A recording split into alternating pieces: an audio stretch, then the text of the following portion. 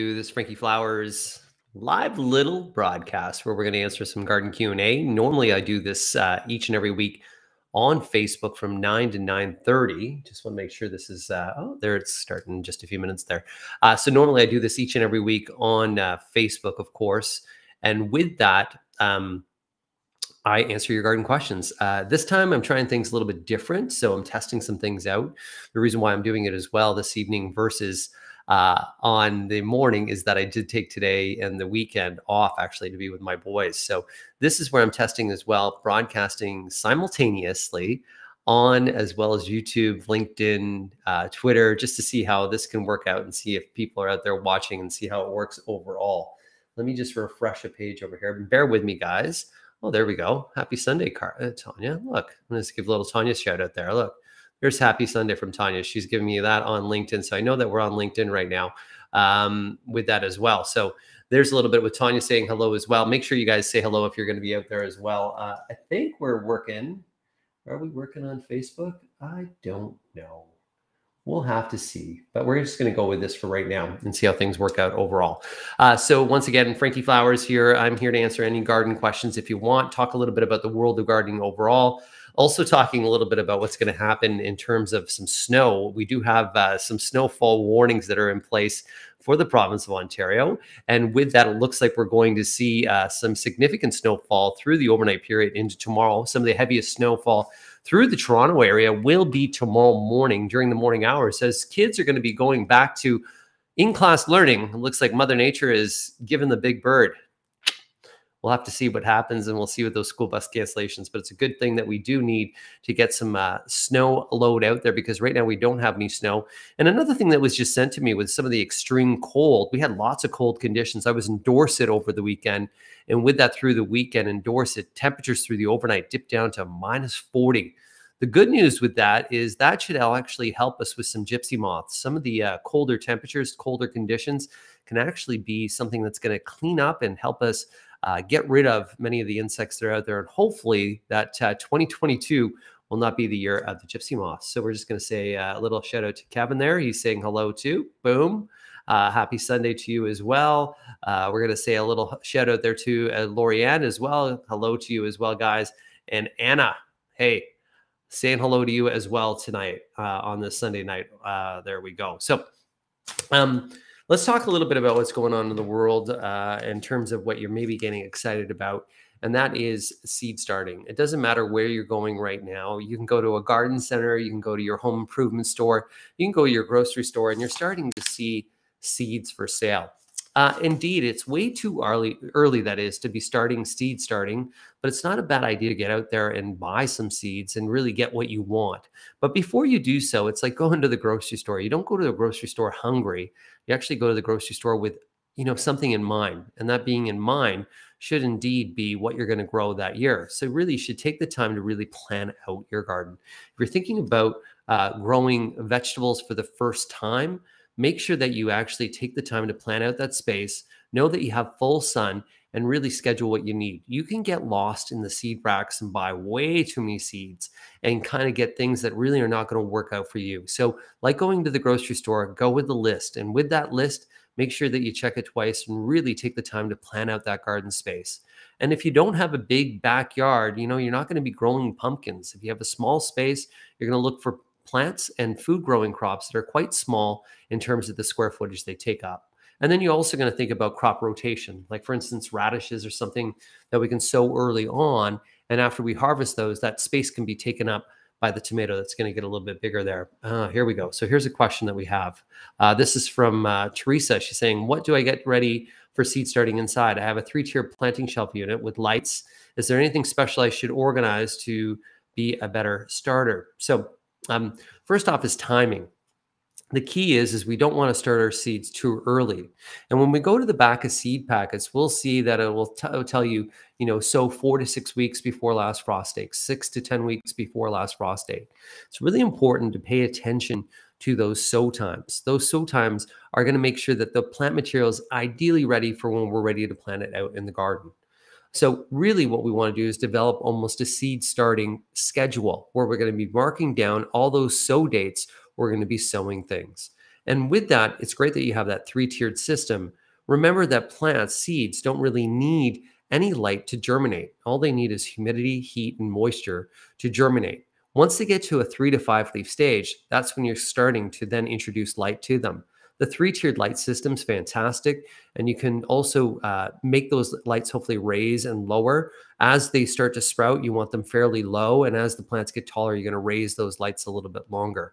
But the key is to be great at sow at sowing your seeds is to make sure that you're sowing them at the right time. Most people fail because they honestly don't sow them at the right time. So that's super key. And thanks for that question out there, uh, Teresa, by the way, as well. Um, a couple other things that are going on in my world, just to kind of update you guys as well. We still have that uh, chance for you to go to Floriade. Floriade is the garden tour that we're doing this summer, which is a, a riverboat cruise that's going to be happening from Switzerland and then it cruises all the way up the Rhine into Amsterdam. That happens in July of 2022 with Emerald Cruises. Uh, I have details on my Facebook page, and as well, you can email me, frankie at frankieflowers.com. So if you want to email me at frankieflowers.com, I'm just going to refresh my Facebook feed over here to see if we have and see that we're up and running as well. Just curiosity. Yeah, we are. Beautiful. Beautiful. There we go. Uh, so things are working out for us here today too. Um, so once again, that Emerald Cruise Line, we have that going on.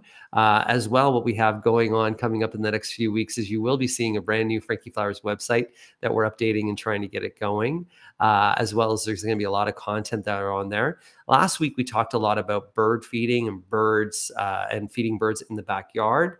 Uh, I'm going to continue to put content like that out there as well.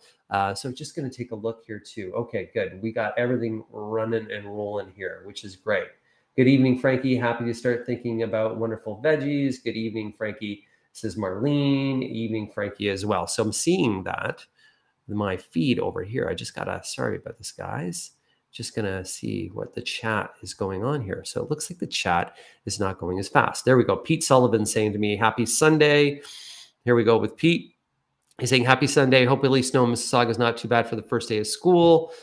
Yeah, a lot of people are wondering about that. It, it does look like uh, we are going to see enough snow that will impact the drive tomorrow. Uh, just to kind of give you guys a little bit of an overlay as well in terms of breakfast television. If you're watching me for the first time, a little bit of my background. My name is Frank Ferragine, aka Frankie Flowers from City TV's Breakfast Television. I wrote a total of four garden books. Uh, I'm also uh, a product of child labor, I often joke about. The reason for that is my family business is Bradford Greenhouses Garden Gallery, located in Bradford and Barrie. Uh, my family are greenhouse growers, garden center operators. I also come from a family of farmers as well. So there's been a lot of hours of growing, a lot of mistakes as well in my life. Uh, and because of those mistakes in my life, that's why I share some of that information with you. Okay, we got Facebook over here, which is uh, actually showing me lots of different things. Uh, this is Debbie Harris. I'm using grow lights. How many hours per day should I leave them on? So, Debbie, what I need to know is exactly what you're growing. So, generally, when we're using the grow light, we're mimicking uh, daylight hours. And sometimes we're actually reducing the amount of light depending upon the plant you're growing because it could be uh, a daylight sensitive plant. So, for instance, for marigolds, will actually reduce the amount of light to trigger marigolds more into bloom. We'll do the same thing with fall mums.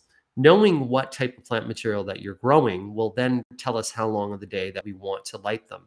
So if we're growing tomatoes and you're growing tomatoes indoors and you maybe want to grow a cherry tomato and you want that cherry tomato to grow indoors and you want to harvest it, you're going to be at least 12 hours on that cherry tomato. They have to be full spectrum lights. That's the key. If you're using an indoor light, you you know I have my ring light on here to make my skin look a little bit nicer for you tonight. Uh, but if you're growing with indoor lights, you need a full spectrum light bulb that's going to mimic the sun overall. So it really depends. If you're thinking about growing food indoors, I really encourage you to either get an AeroGarden or a click and grow. The AeroGarden, which is by Scotts Miracle-Gro, fantastic. It's uh, something that will actually do all the think work for you. All you have to do is add water, add seeds, put a little bit of nutrients when it tells you to do so, and you're going to be off and growing. Uh, this is from Kim. I moved my outdoor ferns from the summer into the garage in November. If I cut them right down to remove the brown leaves uh, after the frost, will they come back? Kim, I'd love to take a look at what they uh, they look like because it sounds like they've kind of, if they're in the garage, number one, and they froze, that's really concerning. So most of the potted uh, ferns that you have outdoors are either going to be a Boston fern or a Kimberley queen fern. They're tropical ferns that cannot actually get too much of a cold weather. The cold weather will kill them. If they're completely brown right at this moment, they're in the garage and it's an unheated garage, I would tell you that uh, I don't think they're going to survive for you overall. So uh, if you want to send me a picture, Frankie at frankieflowers.com, Frankie at frankieflowers.com. Uh, so let's see here. Hello from Wasaga Beach. This is Kimberly Harrison. Uh, hi from Orillia, says Lacey. Uh, so we got lots of people over there saying hello as well. What else do we got here for questions? Let's take a look what we got for questions and comments. There we go. Well, we have a question here as well about fungus gnats. So something that's quite often and that happens quite a bit overall are fungus gnats. Fungus gnats are what we see on our indoor plants. And those indoor plants, you know, anything that you have, like you'll often see me show my little anthurium. I'm pretty happy about that guy. Eh? Look at that, three brand new blooms. Uh, I even got my uh, mother-in-law's tongue that's over here too, my snake plant. Um, but fungus gnats are what you generally see um, right by the soil. And right by the soil, they'll actually uh, look like almost like a fruit fly. And those fungus gnats, the reason why they're there, and I always like to break this down the reason why a fungus gnat is there is it's there because of moisture. So it needs a moist soil. It needs decay. So usually if some leaves have fallen there on bottom, it needs decay. Uh, and with that, it's going to really be the perfect breeding ground for fungus gnats. So the first thing that we do for getting rid of fungus gnats is we get rid of the house that they like. So we cut back on the moisture. We allow the plants to dry out. We remove the decaying leaves, clean up all the leaves on the base.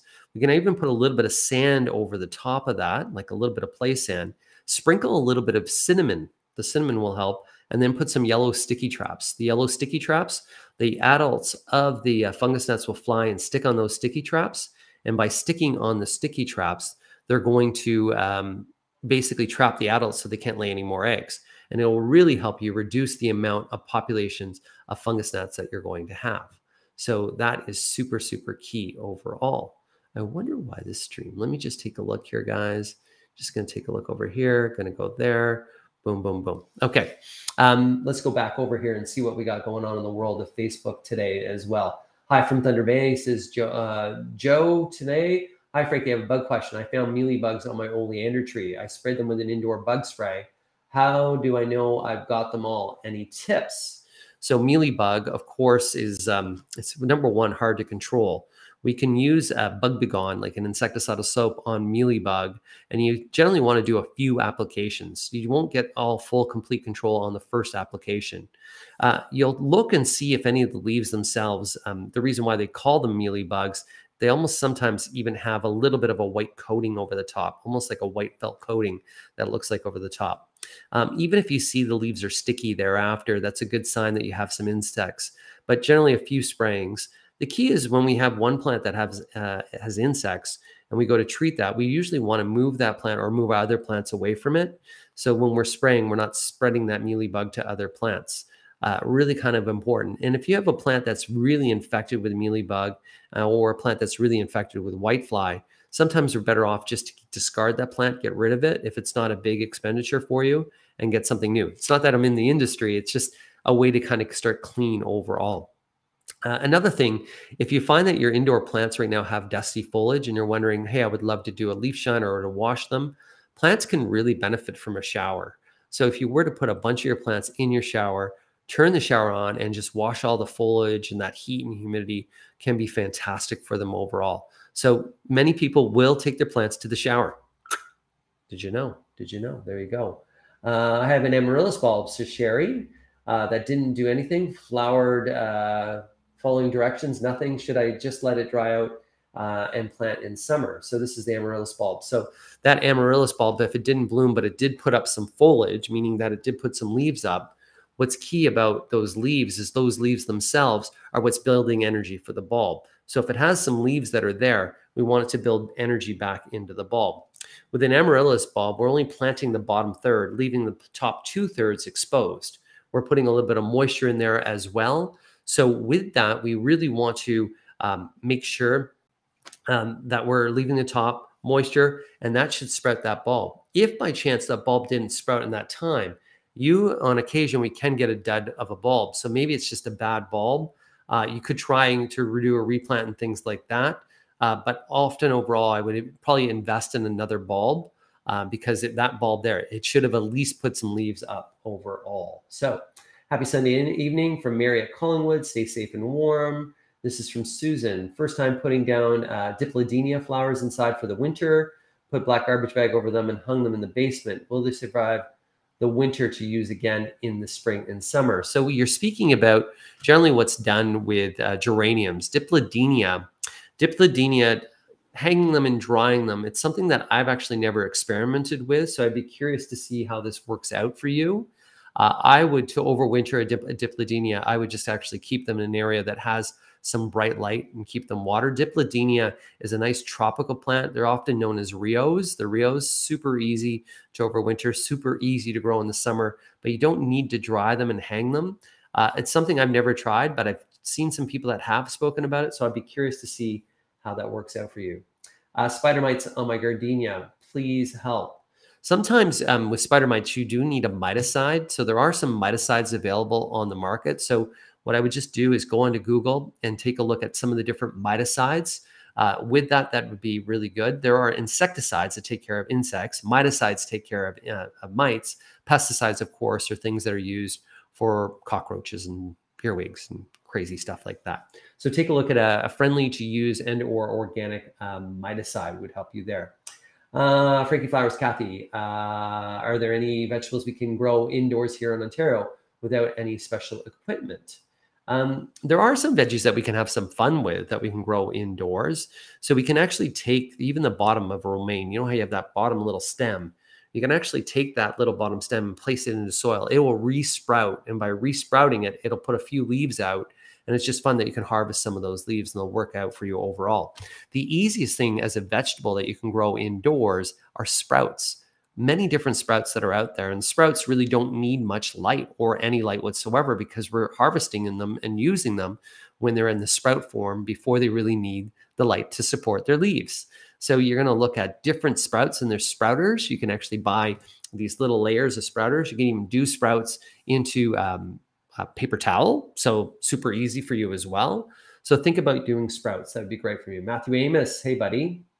Um, Sid, oh, so Matthew Amos wants to know, yes, indeed. Sid, which is my coworker on Breakfast Television, uh, did test positive with COVID. Uh, he's working remotely from home, uh, no symptoms. Uh, you know, really great that the vaccine's really kind of kicking in and helping him as well as Melanie you could see Melanie was right back at work. Sid will be there tomorrow morning. Uh, Matthew, he's doing well. Uh, yes, I've done that. Uh, Jan Thornhill. Uh, Carol Jones, my pink polka dot plant has blossomed little purple flowers. Yeah, they will. Uh, what's neat is I'll take some pictures of even my rosemary. My rosemary that I have indoors has bloomed. It's growing, it's blooming. This is this is I'm new to this house. So this is my second winter in this home. I have lots of windows that face south in the back and with that, I'm amazed at how well some of my indoor plants are growing. And light is light is the light gives life. You know, on a sunny day, you know how good you feel when you have some nice sunlight. Mm. Plants feel that too. It's tea. It's not wine. I'm, I'm telling you. Um, uh, so um, just with that, so yeah, indeed. Uh, so here, if you put here, let, us see what Tanya has to say here. Uh, if you put your plants in the shower, make sure they are in your nursery pot so water can drain out. Very good point. Uh, always Tanya adding a little bit of extra. Tanya, somebody who, uh, just if you want to know, she works for Ball. Uh, with that, one of the breeders. She's a fantastic, avid lover of plants overall. What's your handle again, too? It's something like Plant Diva or something like that. Let me know, and I'll tell people out there. We'll even post it up there. Uh, but we work at my family business together. Actually, uh, the role that when I left BT, when I left Bradford to be more involved with breakfast television, Tanya took over my role at the greenhouse. There's a little story for you there.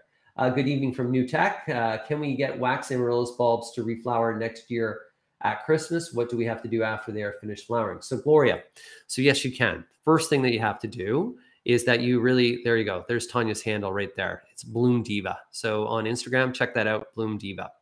Um, Oh, there you go. Got to get rid of that there too. All these different things all coming all over the place. There we go. Um, so with that wax amaryllis bulb. Let's kind of break it down for you. So the wax amaryllis bulb, you're going to plant it, you grow in it, you enjoyed it. That amaryllis bloom, boom, beautiful, nice bloom. After it finished that bloom, we cut the flower stalk off. So when that flower stalk goes a little bit yellow, the bloom is finished, we cut the flower stalk off. From where that stalk is, you'll start to see some leaves that come out.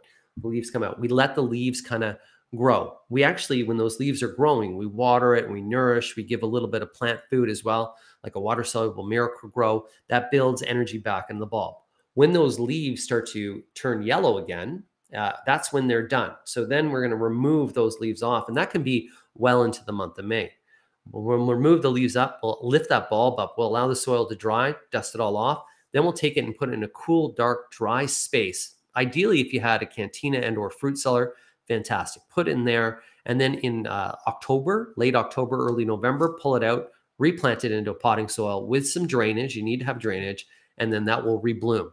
By putting it into that dark, cool space, that's its plunge period, that allows it to rest, and then that those leaves built all that energy back in that will then support the next bloom. So that's exactly what you got to do there. Um, my or orchid bloomed for the second time, says Star. Uh, will it bloom again? Yes, indeed. Depends on the variety, but sometimes orchids can bloom several times, even on the flame, the same flower stalk. Dendrobium orchids and Phalaenopsis orchids are ones that are really mostly the ones that will bloom multiple times. Good evening from New Tech. Uh, okay. Uh, Jen says good evening as well out there. Here we go from Sonia. So Sonia has another question as well. So Sonia Smith says, do you still need grow lights when using sunny south facing windows in a zone three? You do. Because the reason why, and it's now at this time of the year that we need grow lights. So why do we need grow lights? Because our daylight hours are so short. We know that from late October all the way through to March, we have very short daylight hours. So we don't really have enough daylight and this is dependent upon what you're growing overall. If you do have a lot of south facing windows and you're using seeds on a seed starting schedule and you're doing and you're sowing them at the right time, you can get away with that natural light because the natural light at that time of the year is going to be enough. But if you are ones that are you need that extra space and you're starting to use a tiered system, got to remember the top tier will get the most amount of natural light where the bottom tiers may not get as much. So that's where we need a grow light. So grow lights are supplementing daylight hours when we don't have a lot of daylight. So either in a darker room and or if you're trying to grow food at this time of the year in the time when we don't have a lot of daylight hours. So if you're trying to grow lettuce and things like that, if you are starting seeds when it says to, when you're reading the back of the pack, four to six weeks before last frost date, you can just use natural light at that time. And that's what's used at a greenhouse. Most greenhouses don't light. Any of the greenhouses that you're seeing that are lighting are usually lighting things like petunias and you even see them for cucumbers and things. Like when you go by, let's say if you're driving to Niagara and you've seen, say, David's hydroponics that are there and you're seeing the lights on, that's because they're trying to grow cucumbers at this time of the year and there's not enough uh, light to support. Even when you go by some of the cannabis growing uh, greenhouses as well, you'll see those lights out there. And that's the reason why you see the lights out there. So that's a good question for you, Sonia. Thank you for that.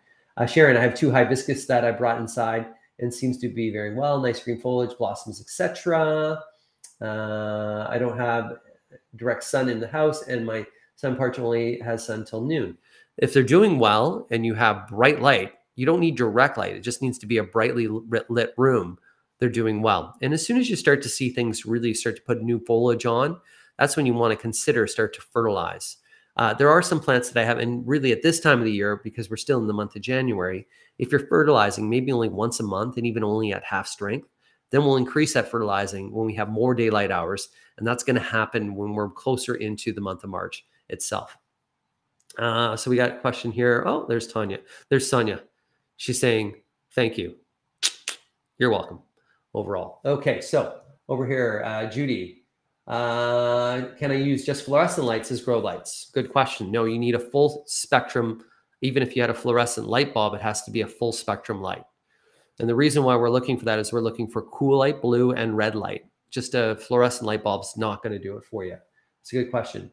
Um, does sending stars benefit you? This is for Paula Polly. So yeah, so guys, if you're wondering about the sending stars, sending stars is a way that Facebook is helping to support um, things like this that I'm doing. Uh, and even though you know the, there are some costs, so this uh, right now I'm using something called Restream, which is a service that we use. The camera that I've upgraded, which was a little bit of a cost. The mic that I have, which is a cost overall, and I'm trying to improve these Facebook lives. I'm going to have more things happening. You're going to really see this not just Facebook lives, but lives overall.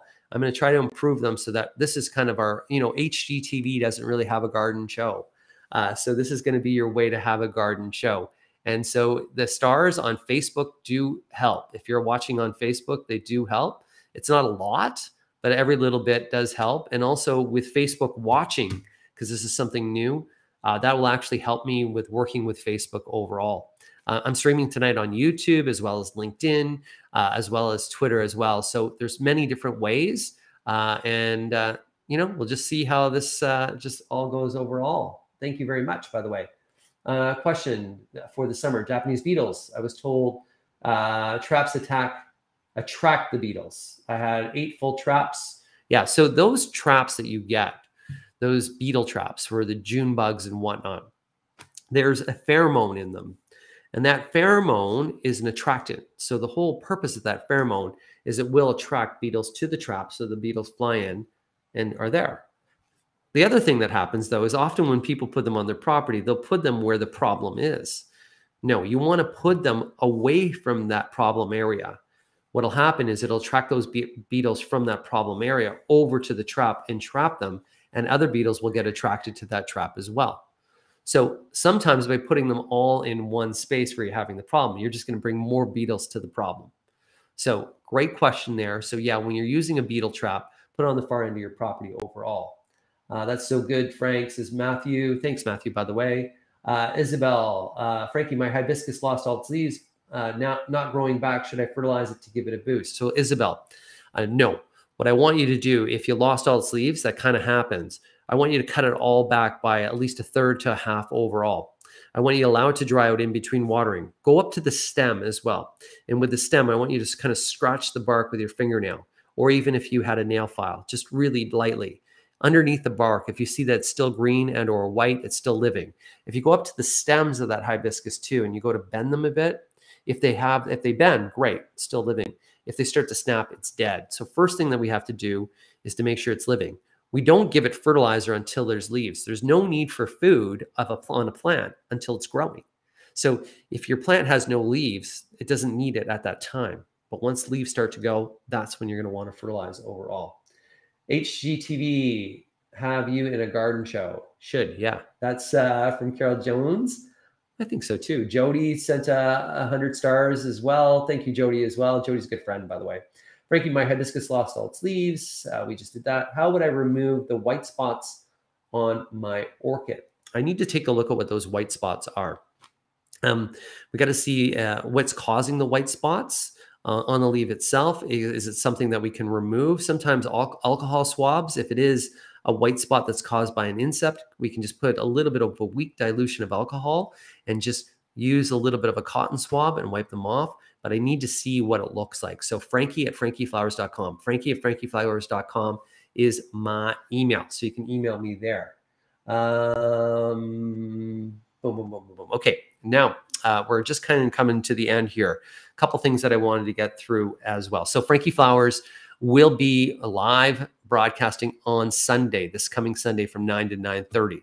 I'm considering doing another one on Wednesday evening as well. And I may just do that as an Instagram live.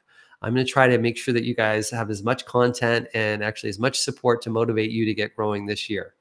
What we're working on this for this year as well is garden to table. Garden to table is the whole idea of growing your own food and then preparing your own food. Uh, I'm working on right now developing an online course. That online course will be where you can learn how to grow food in small spaces, particularly troughs. And then also it'll be with a whole bunch of different recipes. I got to tell you, I love to cook. I'm by no means a chef, but I do have a lot of friends that are chefs that work with me on Cityline, and there's some people I'm going to lean on for some help as well. So that's something that we're going to be working on. So pay attention to that. You'll be seeing more information on that. And then here we go with this question here too. Hi, how long does it normally take for an orchid bud to open? Great question as well. So um, orchid buds can actually take a very long time to open. To open. Orchids will, you know, you got to remember they're they're native to tropical rainforests. So in order for an orchid to do well, it needs and it would desire to have humidity. So misting your orchid really helps, and that will help for that orchid to bloom. Sunlight will actually help that orchid to bloom as well. But they also like air circulation. So they do like a room that does have a little bit of a breeze in it. Um, and then a reminder: a lot of the times people will water because they they've heard the tip about using two ice cubes per week. That's the volume of water because orchids grow up in the trees in Brazilian air uh, in trop- tropical rainforest. Forgive me, in Brazil and all over the world in tropical rainforest, tropical. Uh, they don't like cold water. They actually like warm water. There are some native species of orchids even in Ontario. Check out the toad lily. A toad lily is actually a native orchid. So check that out as well. So there you go. Uh, we're just going to go over here. Sherry, that would be really interesting. Would love an online course. Thank you. Great info as well. Uh, that's great news, Frankie. Thank you. Can't wait uh, for the project. So informative. So, okay, guys, I'm going to end it right there because tomorrow is indeed back to school. My boys are with me. Uh, so, we're going to make sure that their lunch bags are good. Got to make sure that Gavin actually has his uniform and that it's nice and clean. Got to make sure that uh, they got all their books in place. And also, going to have to see what happens in terms of the weather. So, for everybody out there, I hope that you guys have a fantastic day. I wonder how we, oh, there we go over there. Uh, I hope you guys have a fantastic day, a fantastic evening. I hope tomorrow works out for us all. I'll be live on Breakfast Television, 6 a.m. You'll see me broadcasting from Bradford Greenhouses, Bradford location tomorrow morning. Uh, and remember, guys, always gardening, yeah, gardening is way better than therapy. And why? Because you always get tomatoes at the end. Hey, stay healthy, guys. Peace, love. Happy Sunday night. Just going to see if this